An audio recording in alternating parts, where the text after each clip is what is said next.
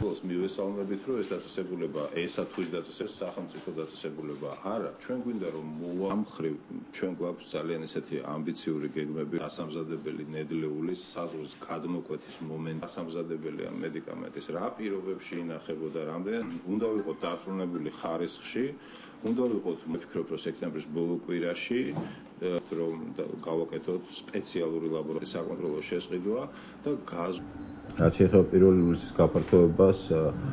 პროგრამა ცალსახად წარმატებულად მიმდინარეობს როგორც ფინანსური კუთხით უკვე ჩვენ მოგვეცა საშუალება რომ რეტროსპექტიული ანალიზები გაგვეკეთებია და ეს ფინანსური გათვლები რომელიც დაგეგმილი ქონდა სავსებით საკმარისია სავსებით საკმარისია ეს რესურსები და მე ვფიქრობ, რომ ადმინისტრირება პროექტის წარმატებით მიმდინარეობს. ძირითადი პრობლემები რაც იყო პირველ დღეებში, ეს იყო ტექნიკური ინფორმაციის გაცვლის საკითხები, რომელიც მოგვარებულია და ალბათ ერთეული შემთხვევები არის, რომელიც სწრაფად გვარდება. როგორც როგორც მოსალოდნელი იყო პირველ პერიოდში იყო ბევრი კითხვა მოსტის პერიოდთან დაკავშირებით ამაზე ჩვენ ფართო გამარტებები გავაკეთეთ და ამ ხრივად შეფერხებები არ არის. უბრალოდ მოლოდინი ყოველთვის აჭარბებს ხოლმე რეალურ შესაძლებლობებს ამიტომ პაციენტების აბსოლუტურ უმრავლესობას სურვილი ქონდა რომ მაქსიმალურად სწრაფად და შემოხდარიყო ეს თუმცა ჩვენ ჩვენ პირობას ვასრულებთ და დასტის პერიოდი არის მაქსიმუმ 2 თვე თუმცა პრიორიტეტული და ძირითადად ეს არის ონკოლოგია და გულის ქირურგია ესეთი შემთხვევები უკვე დაფინანსებული არის. ანუ ეს ნაკადი უკვე დაწყებულია.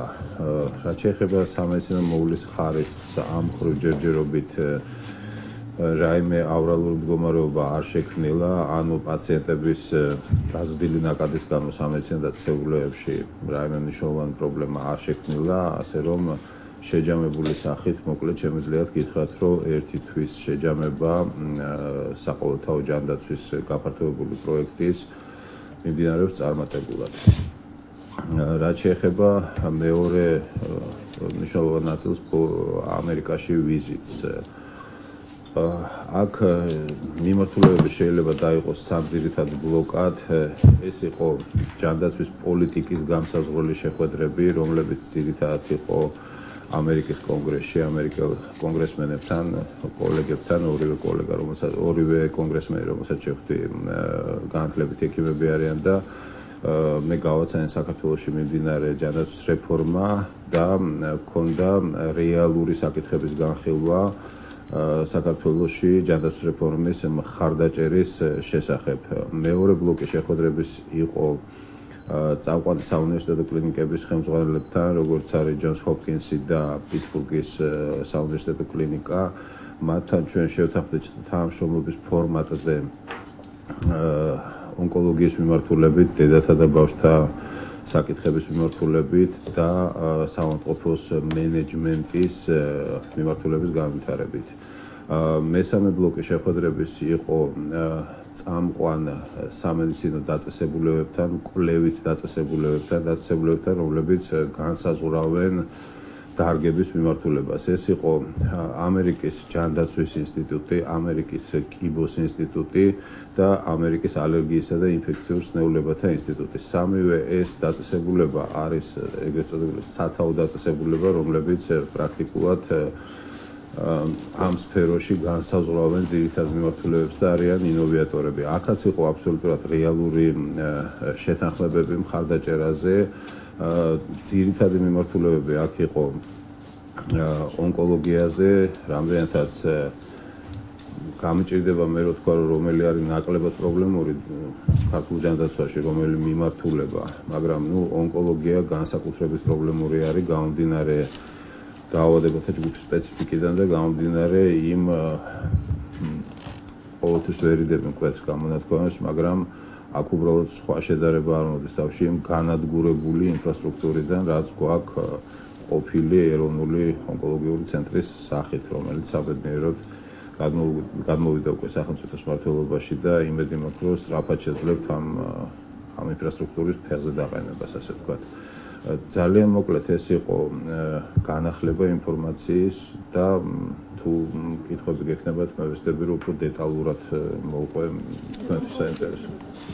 კეთის თქვენ ახსენეთ ონკოლოგიის ცენტრი და სიახლეები, ანუ მოკლედ აღნიშნეთ და სად როგითხრათ რა მოხდა, როგორ მოხდა და როგორ გადმოვიდა ის სახელმწიფოს ხელში და რას აპირებთ რა ვადებში მოხდება მისი რეაბილიტირება და სწორს აა ის ინფრასტრუქტურა, რომელიც მოთასწრე, რომელიც განთავსებული არის ლისისტრის ტერიტორიაზე, ყოფილი ეროვნული ონკოლოგიის ცენტრი რომელიც ორი წლის წინ გადაეცა კერძო ინვესტორს, რომელმაც ჩვენთვის ძალიან სამწუხაროდ ვერ შეძლო თავისი ვალდებულებების შესრულება.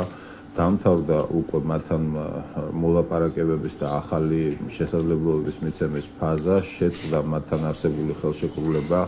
დაწესებულება ისევ გადმოვიდა სახელმწიფოს მართლობაში, ჩამოყალიბდა ახალი იურიდიული ერთეული, შეზღუდული შპს, ასე ვთქვათ, რომელიც ორი თვის განმავლობაში გადმოიბარებს სრულ აქტივებს, მოძრაულ უძრავ ქონებას, მოახდენს ინვენტარიზაციას, შეფასებას, ჩვენ ვიზრუნეთ იმაზე, რომ ამას არავითარ შემთხვევაში არ მოყოლოდა სერვისების წყვეტა, ანუ ერთი დღით და ერთი საათითაც არ მოხდარიყო ჩავარდნა. ეს პროცესი უკვე დაწყებული არის ორი კვირის წინ, შესაბამისად დასრულდება თვენახევარში. ამ თვენახევრის განმავლობაში ჩვენ ჩამოვაყალიბეთ მართვის ესეთი მოდელი, როდესაც იქნება სამი თვალყურეო საბჭო რომელსაც წარმოადგენდნენ იქნება ჯანდაცვის სამინისტრო და ეკონომიკის სამინისტრო მინისტრის მოადგილეების დონეზე.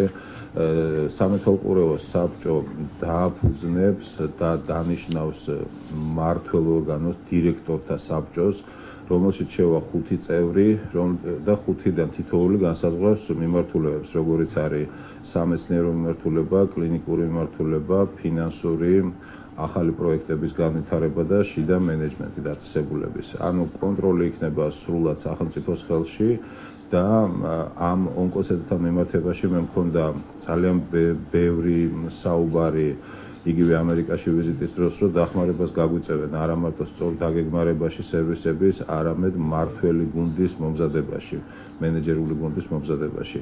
ის ინფრასტრუქტურული პრობლემები, რაც ახლა არის რეაბილიტაცია, ეს არის ჩვენი ვალდებულება, უკვე სახელმწიფოს ვალდებულება და მე ვფიქრობ, რომ შემოდგომისთვის უკვე დაიწყება რეაბილიტაცია. რა დრო დაჭირდება დასრულებას მე არ ვარ მშენებლობის სპეციალისტი, მაგრამ ნუ ჩემ პატარა გამოცდილებიდან შემიძლია გითხრათ, რომ ოპტიმალურია და არის დაწყებიდან წელიწად ნახევარი, როდესაც ბოლო მშენებელი, ასე ვთქვათ, გავა ეზოდან. აი ეს არის მოკლე გრაფიკი კონკრეტის. და პროექტის ღირებულება რა იქნება მთლიანად? ეს უნდა შეფასდეს საერთო ფართი არის 27000 კვადრატული მეტრი. ჩვენ რო ამას რა თქმა უნდა შეაფასებს ის კომპანია, სპეციალისტების კომპანია, მაგრამ უხეში გათვლებით მე შემიძლია გითხრათ, რომ ესეთი დონის რეაბილიტაციაზე ჩვენ უნდა ვიანგარიშოთ ალბათ ალბათ 1000 ლარი კვადრატული მეტრი, ესე იგი, აი ამ მასშტაბის თანხებზე იქნება საუბარი. 1000 ლარი კვადრატული მეტრი. უკვე სრულად აღჭურვის და აი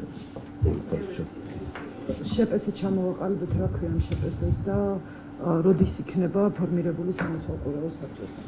შეპესე უკვე ჩამოყალიბებული არის მას სახელად ქვია უნივერსალური ეროვნული ჯანდაცვის ცენტრი, უნივერსალური იმ ხრივ რომ ეს არ იქნება მხოლოდ ონკოლოგია, ონკოლოგია იქნება წამყვანი მიმართულება, მაგრამ რეალურად იქნება მრავალპროფილიანი დაწესებულება. ეს უკვე ჩამოყალიბებულია შპს და მუშაობს რაც შეეხება სამთვალყურო საბჭოს და დირექტორთა საბჭოს როგორც მოგახსენეთ ეს მოხდება თვენახევრის განმავლობაში როდესაც დასრულდება ეს ორთვიანი გამომბარების პერიოდი და ამუშავდება ახალი სტრუქტურა. გასაგები ამერიკაში წესრიგზე იყო საუბარი თუმცა უფრო კონკრეტულად თუ გადაიდგა რაიმე ქმედიზნებიჩი და შეფასებითი კომენტარი რო გავაკეთოთ ამ ვიზიტის სრულად რაც შეეხება კონკრეტულ ნაბიჯებს კონგრესმენთან შეხვედრის ფორმატი არ მოიაზრებს იმას, რომ პირველივე შეხვედრაზე შეხვედრის მონაწილეები დასწრენ და გაწერონ კონკრეტული სამუშაო გეგმა ამ კონტრაქტი. გამოიხატა მზაობა, ორმხრივი მზაობა თანამშრომლობის და ეხლა უკვე სამუშაო ჯგუფი ამუშავებს დოკუმენტებს, რომელიც მე ძალიან დიდი იმედი მაქვს, რომ იქნება შეთანხმებული ორივე მხარესთან და რეალურად პროექტის ამუშავება ოპტიმალური ვადა არის მე ვფიქრობ სექტემბრის ბოლოს ოქტომბრის დასაწყისში. აი ეს იქნება შეთანხმებები. შეთანხმებები გამოიხატა როგორც გითხარით ძირითადად იმაში რომ ჩამოვა ამერიკის კიბოს ინსტიტუტის გუნდი აქ ადგილზე საქართველოში და ჩაატარებს შეფასებით სამუშაოს. რა ხდება ქართულ ონკოლოგიაში? ეს არ იქნება მხოლოდ ონკოცენტრის ამ ლისტის დაწესებულებით შემოფარგლული არამედ იქნება მთლიანად. ამის შემდეგ იმ სამუშაოს მოსულობის მიხედვით, რაც აღმოჩნდება შეფასებით ნაწილში, ისინი გაგვიწერენ სტრატეგიას, რა უნდა გავაკეთოთ, რა რესურსები გვჭირდება დროის რა ფარგლებში. ეს მოიცავდეს იქნება როგორც ინფრასტრუქტურის რეაბილიტაციას, აღჭურვილობას, პერსონალის მომზადებას და მენეჯერული გუნდის ჩამოყალიბებას. ამისი დროის გრაფიკი რო გითხრათ, ну ძალიან ისეთი პლუს მინუსით რა შეფასებით ნაწილზეა დამოკიდებული. მე ვფიქრობ, რომ წყლის ბოლოსთვის ჩვენ უკვე უნდა გქონდეს სტრატეგიაზე მუშაობა დაწყებული და დასრულებული ალბათ მომავალ წლის მარტის დასაწყისში ეს ან წარმატებული გამოცდილება ყოველ რაღაც ახალ აქტივობას როგორც წესი აფასებ წინასწარ მოსალოდნელ შედეგებს, რისკებს, გართულებებს და დადებით ხარებს. რა თქმა უნდა, ამაზეც იგივე ჩავატარე, სანამ წავიდოდი და ეხლა შემიძლია გითხრათ, რომ მოსალოდნელ შედეგებზე, დადებით შედეგებზე ბევრად მნიშვნელოვნად უფრო მეტი შედეგები მივიღეთ ამ შეხვედრებისგან. ბატონ დავით, შუახევის რაიონში არის ახალშობილი ბავშვი, რომელიც შიმშილის ზღვარზეა. ეს ოჯახი არის სოციალურად დაუცველი, იღებენ ყველანაირ დახმარებას, რასაც სამინისტრო სამინისტროს აქვს განსაზღვრული და აი ზოგადად რომ გითხრათ მსგავსი შემთხვევები ხშირია საკმაოდ. და თუ იგეგმება თქვათ აი მრავალშვილიანი ოჯახების ოჯახებთან მიმართებაში სამინისტროს პოლიტიკის გადახედვა დამატებით დაფინანსება ნოდი თავიდანვე ვიტყვი რომ და დაფინანსება და გაზრდილი დაფინანსება არის რაიმე საქმის ნებისმიერი საქმის წარმატების აუცილებელი მაგრამ არავითარ შემთხვევაში საკმარისი პირობა. უამრავი შემთხვევა, მათ შორის ძალიან რეზონანსული შემთხვევებიც, რომელიც იგივე აჭარაში მოხდა, რეალურად მათ რომ მათ რომ მეტი ფული ქონოდათ ოჯახ შემოსავალი, გამოსავალი ამეთი არ შეიცვლებოდა, ეს ცალსახად შემიძლია გითხრათ. იმიტომ რომ მაგ ბევრი სხვა ფაქტორია, მე ყოველთვის ვერიდები ოჯახის თემაზე საუბარს, ესეთი რაღაც არის, მაგრამ დამეწუნეთ რომ აქ ყველა ფაქტორს აქვს მნიშვნელობა, მშობლების განათლებას, მათ უნარჩვევებს ბავშვების გაზრდის იგივე სოციუმს, სადაც ისინი ცხოვრობენ, რა თქმა უნდა, უბნის ექიმს, რა თქმა უნდა, სოციალურ მუშაკს. ამ ხო ჩვენ მუშაობა რეალურად გააქტიურებული გვაქვს, გააქტიურებული იმ ფარგლებში, რითიც მუშაობდით. ოღონდ გვაქვს ახალი სტრატეგიის შემუშავება, რომელსაც იუნისეფთან ერთად ვაკეთებთ და რომელიც დაიწყო 11 ივნის, ანუ მე იმედი მაქვს, რომ ეს ეფექტური ეფექტური მიდგომა იქნება ამის გადასაჭრელად.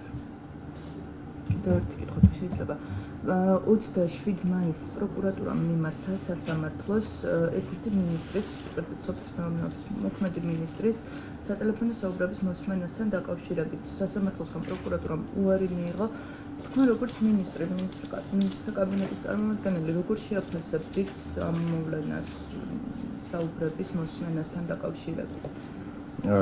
ჩემთვის თული საქმელი იქნება ახლა რამ განაპირობა ეს ყველაფერი ზოგადად არსებობს ესეთი მიმართულება კორპორაციული უსაფრთხოება რომელიც როგორც საჯარო ასევე კერძო დაწესებულებებში გამოიყენება და ეს არის ну მნიშვნელოვანი ნაწილი მართვის და მენეჯმენტის ისინი იყენებენ იმ ინსტრუმენტებს ლეგალურ ჩარჩოებში რაც რაც საჭირო არის ამა თუ კონკრეტული ამოცანის შესასრულებლად მათ შორის ინფორმაციის მოგროვებას და ოპერატიულ აქტივობებს. მე არ ვარ ამის სპეციალისტი და არ ვარ დეტალებში ჩახედული რა იყო მაშინ. ამიტომ კონკრეტული პასუხისგაცემა გამეჭirdება, მაგრამ ის რომ კორპორაციული უსაფრთხოება მიღებული და ლეგალური საშუალება არის, ну ამას ვადასტურებ.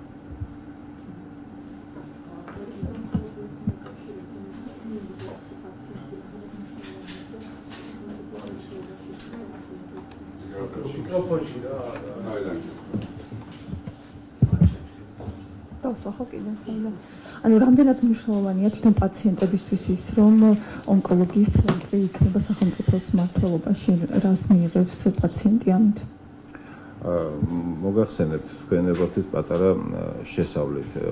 ნებისმიერი აქტივობა, რომელიც ხორციელდება ჯანდაცვაში, მაპატეთ ზოგადი შესავლისთვის, მიმართული არის პირველ რიგში პაციენტისათვის.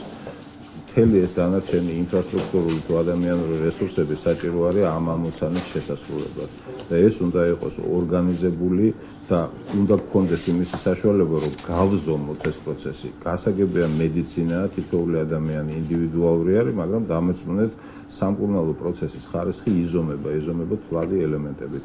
ონკოლოგიაში ისევე როგორც სამწუხაროდ აბსოლუტურ უმრავლესობაში კლინიკური მიმართულებები საქართველოში ჩვენ არ გვაქვს არანაირი ობიექტური მონაცემი თუ რამდენად ეფექტურად იმართება ეს დაავადებები.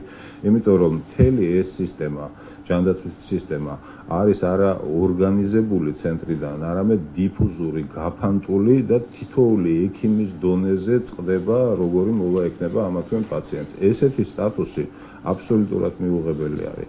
ეს ზოგადი შესავალი. კერძო შესავალი. აუცილებელი პირობა არის ონკოლოგიაში და სხვა დარგებშიც, რომ დანერგილი იყოს ხარისხის კონტროლის სისტემა. ამის ინტერესი თეორიულად კერძო მართლობასაც აქვს და სახელმწიფო მართლობასაც აქვს.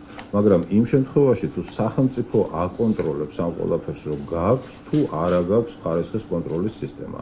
თავისთავად ონკოცენტრი ან ნებისმიერი სხვა დაწესებულება კერძო მართლობაში იქნება თუ სახელმწიფოში არანაირი მნიშვნელობა არ აქვს განვითარებული ჯანდაცვის სისტემაში.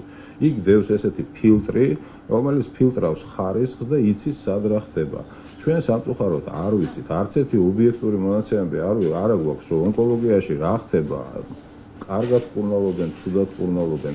ამიტომ ესეთი მდგომარეობების დროს მიღებული არის რომ სახელმწიფომ აიღოს თავის თავზე სისტემის მართვა, ჩამოაყალიბოს სისტემა ხარისხის და განფასების და ამის მერე არანაირი პრობლემა აღარ არის უკვე გასხვისების და განკერძოების დაწესებულებების. ანუ პირველი დარტყმა უნდა მიიღოს სახელმწიფომ თავის თავზე. ეს მისი ვალდებულება არის. სწორედ ამის გაკეთებას ვაპირებთ ჩვენ და არა ის რომ თვითმიზანი იყოს რომ ეს სახელმწიფო დაწესებულება. არა, ჩვენ გვინდა რომ მოვაგვაროთ ეს საკითხი, მოვაგვაროთ სტრატეგიულ, ტაქტიკურ და ტექნიკურ ჭრილში, გავმართოთ, დავაყენოთ ფეხზე და მე ყველა სულოს მივესალმებით რომ ეს დაწესებულება, ესა თვის დაწესებულება განკეთდეს და მოუვარონ. მაგრამ ესე როგორც აქამდე ხდებოდა, უბრალოდ არ შეიძლება. იმიტომ რომ ჯანდაცვის სამინისტრო გადაიქცა აბსოლუტურად გაუგებურ ჩინოვნიკურ გულად, რომელიც რასაკეთებდა არავინ არ იცოდა. არა ხარისხის კონტროლი, არა ფასის კონტროლი, არა არაფერი. აი ეს გვინდა ჩვენ რომ მოვაწესრიგოთ და ეს არის აუცილებელი პირობა რომ პაციენტამდე მივიდეს შედეგი, რასაც ქვია ხარისხიანი და ხარჯეფექტური მკურნალობა. ბატონო, იგივე სიტუაცია არის თუ ხდები წამლებთან დაკავშირებით, წამლების ხარისხის კონტროლიც მოსაგვარებელია და ასევე თუ იქნება შემდგომში ჯანდაცვის საერთაშორისო საყოველთაო ჯანდაცვაში ჩართული წამლები თუ მომარაგდებიან ისე ვთქვათ პაციენტები. რაც შეეხება მედიკამენტების ხარისხის კონტროლს, ამ ხრივ ჩვენ გვაქვს ძალიან ისეთი ამბიციური გეგმები, რომ შევქნათ ყოვლის მომცველი სისტემა, რომელიც მოიცავს საბაჟოდან, ანუ მედიკამენტის თუ მედიკამენტის დასამზადებელი ნედლეულის საზღვრის გადმოკვეთის მომენტიდან იმ მომენტს, სანამ პაციენტი ამას შეიძენს, რომ მთელი მწკრივი გაკონტროლდეს. ეხლა სამწუხაროდ კონტროლდება მხოლოდ წარმოების პროცესი, ეგრეთ წოდებული GMP სერტიფიკატი, რომელიც ასახავს იმას, რომ რამდენად სწორი არის წარმოება და არა ის, რომ რა ხარისხის მასალა შედის დაწესებულ წარმოებაში და რა ხარისხის გამოდის. ეს უცნობი არის. და ხდება არჩევითად რამოდენიმე მედიკამენტის საკონტროლო შესყიდვა და გაზომვა ლაბორატორიულად ზოგად ლაბორატორიაში სამხაროების ექსპერტიზის ბიუროში მასში აქტიური ნივთიერების შემცველობა. რაც აბსოლუტურად საკმარისი არ არის. მე თქვენებართვით აი რამოდენიმე დეტალს გეტყვით ამ წამლის ხარისხის კონტროლზე. მედიკამენტში მითითებული დოზის შესაბამისი აქტიური ნივთიერების არსებობა არის ერთ-ერთი და არა ერთადერთი ფაქტორი. ძალიან მნიშვნელოვანი არის სხვა რა ხდება. ანუ აქტიური ნივთიერების გარდა რა არის შემავსებლები, იქნებ რაღაც ტოქსიურია, ურთიერთქმედებაში შემოდის ამასთან. ეს არ კონტროლდება არანაირად. არ კონტროლდება მთლიანი ჯაჭვი, რომ შემოვიდა დაუშვათ ნედლეული დასამზადებელი ამ მედიკამენტის, რა პირობებში ინახებოდა, რამდენად სწორად მოხდა ტრანსპორტირება. ჩვენ ვაპირებთ და დაახლოებით დროის გრაფიკს გეტყვით რა, რომ ეს პროცესი გააქტიურდება სექტემბერში. მე ვფიქრობ, რომ სექტემბრის ბოლო კვირაში აუცილებლად ამაში ჩვენ შევთავაზებთ და იმედი მაქვს რომ მონაწილეობას მიიღებენ ადგილობრივი ფარმფირმები, რათა მათი ინტერესიც არის რომ დადასტურდეს და პასუხი გაეცეს კითხვაზე რომ ხარისხიანი არის თუ ხარის ხო რომელიც დადის ეს კითხვები. და ოპტიმისტური გათვლებით ვფიქრობ რომ 2014-ის დასაწყისში ჩვენ გვექნება უკვე მწყობრი სისტემა, რომელიც თანამედროვე მიღებული სტანდარტებით, აქ ლაბორატორიული ნაწილიც არის საჭირო და ამასაც ვფიქრობთ, რომ გავაკეთოთ სპეციალური ლაბორატორია საქართველოში. ასე რომ აი ამ ვადებში და დაახლოებით აი ამ ამ გეგმებში ვფიქრობთ ამ თემის მოგვარებას და მხოლოდ ამის შემდეგ მოგვეცემა ჩვენ შესაძლებლობა რომ საყოველთაო ჯანდაცვის პაკეტში ჩავთოთ მედიკამენტი, იმიტომ რომ ჩვენი ინტერესი არის პირველი პაციენტის და მეორე ადგილობრივი წარმოების ხელშეწყობა. ეს რომ მოხდეს, უნდა ვიყოთ დარწმუნებული ხარისხში, უნდა ვიყოთ მოლაპარაკებულები ლეგალურად, რა თქმა უნდა, წარმოებლებთან, რომ არა მექანიკურმა შესყიდვამ არ გამოიწვიოს ფასის ზრდა და არ შევთავაზოთ ჩვენ მოქალაქეებს უხარისხო წამალი. აი ეს არის ჩვენი ხედვა და დაახლოებით დროის გრაფიკი, როგორ ფიქრობთ ამას? მოგესალმებით. გაზეთ რეზონანსი ინტერვიუში თქვენ საუბრობდით ახალგაზრდებზე მინიმალური ზღარის დაწესებას. ან მაინტერესებს ეს კონცეფცია, ან ვინ მუშაობს თუ ამ კონცეფციაზე, რომელიც სამინისტროები და ორგანიზაციები, როდის იქნება ეს კონცეფცია ცნობილი საზოგადოებისთვის და აა თქვენი აზრით, ანუ მიახლობით მე შეგიძლია თქვა რა შეიძლება იყოს ეს მინიმალური ხელფასი. რა შეიძლება იყოს? მინიმალური ხელფასის კონცეფცია არის საერთაშორისო მიღებული საკანონმდებლო აქტი. არსებული 260 და რაღაც ქვეყნიდან დაახლოებით ნახევარში ეს კანონი არსებობს და შესაბამისად მეორეში არ არსებობს. ყოველი ქვეყანა აკეთებს იმ არჩევანს, რაც ჭირდება მის მიმდინარე ტაქტიკურ და სტრატეგიულ მიზნებს. ჯანდაცვის სამინისტროს შრომის დეპარტამენტი ამ კონცეფციაზე მუშაობს. მე უფრო დაგიზუსტებთ რა ეს სტრუქტურა რო წარმოედგინოთ ამისი ახალი შრომის კოდექსი რომელიც ეხლა ხან იქნა მიღებული. თავისთავად არის მნიშვნელოვანი ნაბიჯი მაგრამ არავითარ შემთხვევაში საკმარისი იმიტომ რომ მასზე უნდა დაშენდეს შემდეგი სტრუქტურები. ერთი შრომითი დავების დარეგულირების ეგრეთ წოდებული სამწევრიანი ტრიპარტული სისტემა საერთაშორისო მიღებული. ამაზე ჩვენ მუშაობთ იუსტიციის სამინისტროსთან ერთად და იმედი მაქვს რომ რაღაც რეალურ პერიოდში მოგვარდება. მეორე ეს არის სწორედ მინიმალური სახელფასო ანაზღაურების, რომელზეც მიდის კონცეფციაზე მუშაობა და ჯერ არ გასულა ასე თქვა საკანონმდებლო სივრცეში ანალიზისათვის, იმიტომ რომ მრავალმხრივი ანალიზი ჭირდება ამას აუცილებლად. და ეს არის შრომის უსაფრთხოება. ანუ შრომის კოდექსზე ესეთი სამი მოდული უნდა დაშენდეს. ამ სამივეზე, რა თქმა უნდა, ჩვენ აქტიურად ვართ ჩართულები და შრომის უსაფრთხოებაზე სხვათა შორის მქონდა ამერიკაში შეხვედრა და იქ ძალიან ხას უსვამენ და ყურადღებას ამახვილებენ ამაზე. ამ სამივე თემაზე ჩვენ მუშაობთ, მაგრამ ეს არ არის პროდუქტი, რომელიც შეიძლება მეიღო ერთ დღეში, ერთ კვირაში ან ერთ თვეში, იმიტომ რომ მრავალფაქტორიანი არის, დამოკიდებული არის კერძო ბიზნეს პოზიციაზე და ამ საქმეობლის და ასე შემდეგ. ანუ დრო ჭირდება ამ ყველაფერს, რა. ეს არის სტატუსი.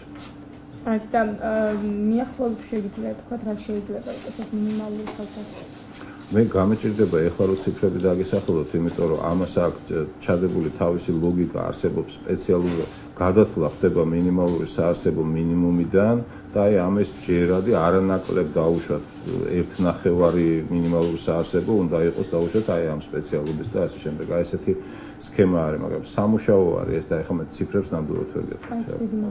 და კიდევ ერთი ბატონ დავით, წინა ინვესტორთან მეც ამოხდა გაწყვეტა ხელშეკრულების იყო თუ არა საჯარო მოსანქციები ან გარკვეული ვალდებულებები ხო არ დარჩენა შესაძლებელი.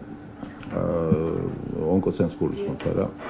იქ იყო ხელშეკრულების გათვალისწინებული საბანკო გარანტია, რომელიც რა თქმა უნდა ჩამოეჭრათ და ეს დაგჭა და იქ იყო უკვე შესრულებული ინვესტიცია, რომელიც იყო სადღაც სწორად მახსოვს 600-700000-ის ფარგლებში, რომელიც რა თქმა უნდა მათ არ აუნაზღაურდებათ და ესეც დარჩება დაწესებულებას ასე ვთქვათ. აი ეს ორი იყო. ამ ხელშეკრულების მონაწილეები არიან იყვნენ ეკონომიკის სამინისტრო და ინვესტორის შესაბამისად ძირითადი სამუშაო გადმობარების მიმდინარეობს მათ შორის. და კიდევ ერთ ციფრს დავაზუსტებ 27000 კვადრატული კვადრატული 1000 ლარი თქვენ ახსენეთ. ანუ 27 მილიონზე საუბარი საბოლოო ჯამში იმისთვის რომ აღჭურვით აი მთლიანად სრულად დასრულდეს ალბათ აი ამ კალიბრის თანხაზე გვექნება საუბარი მაგრამ ეს განსაზღვრება უკვე როცა კონკრეტულად შეაფასებენ მე გეუბნებით აი წინასწარი გათვლებით რომ აი მასშტაბებზე წარმოვიდგინოთ რა შევიქნათ წარმოდგენა ბატონო დავით სხვა თემაზე მინდა კითხოთ. მე მომწია ციხისში ყოფნა ორი დღის უკან და იქ თვითონ ოჯახში სადაც იმყოფებოდი ყავს პატარა ბავშვი რომელსაც კატამ დაფხატა და მოუწიათ ბავშვის გადაყვანა ჯერ ქობულეთში ქობულეთში აღმოჩნდა რომ არ ქონდა ჩრატი რომელსაც უნდა აეცრათ ბავშვი შემდეგ წაიყვანეს ბათუმში და აღმოჩნდა რომ ბათუმშიც არ იყო და შემდეგ ამისმერი წაიყვანეს ქუთაისში. ძალიან მეინტერესებს ვინ არეგულირებს აი ამ მნიშვნელოვანი პრეპარატის მომარაგებას საავადმყოფოების.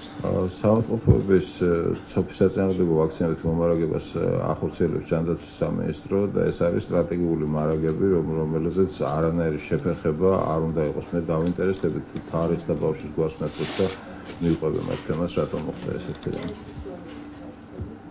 ჩაიწერა და თარიღი როდის იყო ეგ. აი დავაზუსტეთ მაგას. ნუ ეგ ისეთი ისე.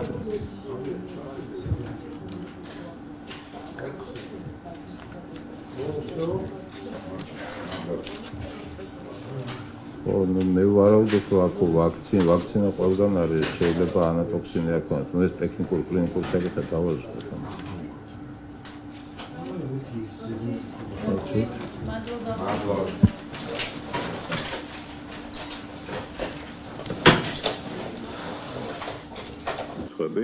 და ოპტიმისტური გათვლებით ფიქრობ, რომ 2014-ის